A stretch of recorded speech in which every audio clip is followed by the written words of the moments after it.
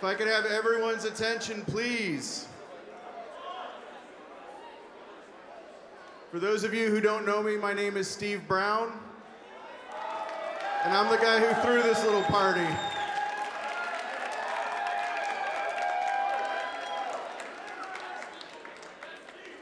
I wanted to take a moment to thank all of you for coming out and making this event what it is. But I also need to stop and thank someone else. It's always easy to congratulate someone when you see them doing something. But for the most part, you never see the people who have done all of the work. Because everything that we do, we stood on someone else's shoulders to get here. So a lot of you have seen me walking around the hall and you've come up to me and you've thanked me for running this event. But I didn't run this event. I learned how to run this event from a lot of other people. I've been in the yo-yo industry for 21 years now. And in that time, I have had a tremendous number of mentors and friends and a lot of people who have taught me all of the skills that I needed to get here in this moment and be able to do this for you. And out of all of those names and all those faces, there is one that stands above the rest. And he's the guy who gave me my very first job in yo-yo. He's the guy who saw a skinny, homeless 19 year old and said, screw it, I think he'll be okay. He taught me to love yo-yos. He has been an incredible mentor, a dear friend, and for many, many, many years, he ran the World Yo-Yo Contest.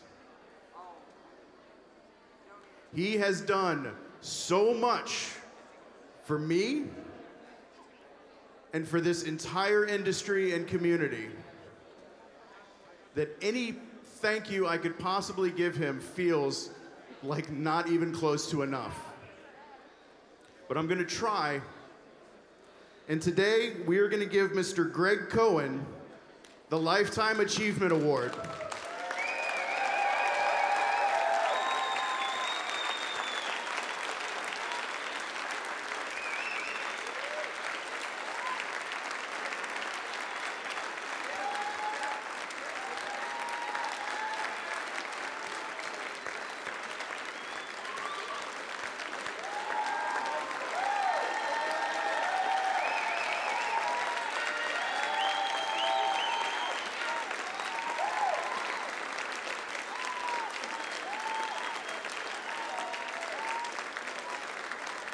Missing two years of this contest and coming back made me realize it's not a contest, it's a family reunion.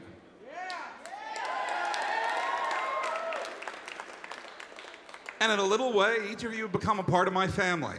But I do want to thank my family for letting me, giving me so much latitude so that I could dedicate the time to work on this contest. Sarah Jane, I can't see anything with these lights in my eyes, but I know you're out there. Thank you.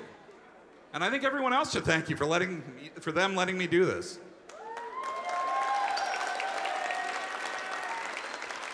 And Steve, the story you told was mitigated by one event when you were working in my store.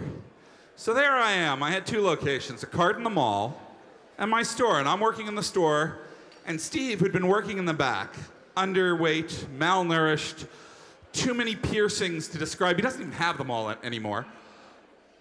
I didn't know those things were reversible. And uh, in comes, I had to stick him out on the mall cart. He put on a fedora. He looked like a very skinny Harry Anderson. Stuck him in the mall cart because the guy was supposed to work there who never worked for me again didn't show up. And I had some customers come in. And they said they were sent there from the mall. And the son said, yes, there was this nice guy at the mall with a tongue stud.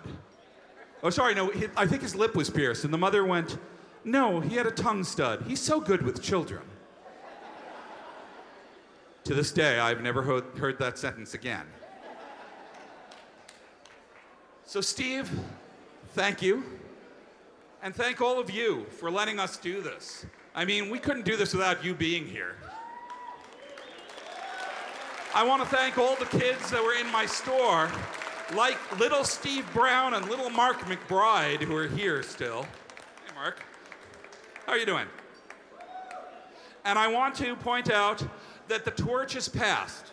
Turn this way. Put down your arms. He will someday fit in my shoes.